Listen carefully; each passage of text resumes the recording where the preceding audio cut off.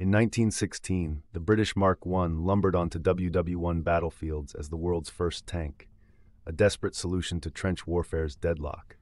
Weighing 28 tons with a top speed of 5 kilometers per hour, its rhomboid shape and caterpillar tracks crushed barbed wire but suffered constant breakdowns. Yet its psychological impact was profound, proving armored vehicles could shift battles despite limited firepower, only machine guns or six-pounder cannons.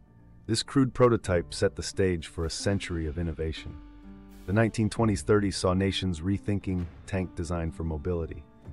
France's FT-17, the first turreted tank, weighed just 7 tons, allowing rapid deployment. Meanwhile, Soviet BT series tanks achieved 70 kilometers per hour on wheels, foreshadowing blitzkrieg tactics.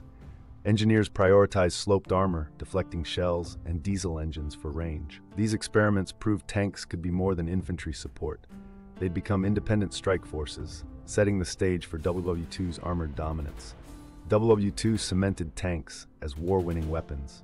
Germany's Panzer IV 75mm gun and Soviet T-34 sloped armor clashed in history's largest tank battles, like Kursk.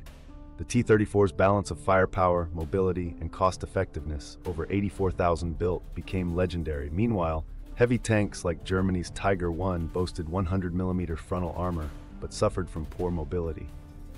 This era proved no single design could excel at all roles, leading to the modern main battle tank concept. The Cold War, 1947 to 1991, forced tanks to evolve against guided missiles. Britain's Chobham armor, layered ceramics, could withstand shaped charges, while reactive armor tiles detonated incoming rounds prematurely. The US M1 Abrams, 1980, introduced gas turbine engines and thermal sights for night dominance, while Soviet T-72s emphasized numbers over sophistication. This era birthed the main battle tank, a hybrid of firepower, protection, and mobility, but urban warfare soon demanded new adaptations. Modern tanks like Russia's T-14 Armata integrate active protection systems, intercepting missiles mid-air, and AI-assisted targeting. Thermal optics render night obsolete, while urban warfare kits add rooftop machine guns. Yet drones and cyber threats question their relevance, leading to prototypes like the unmanned Black Knight.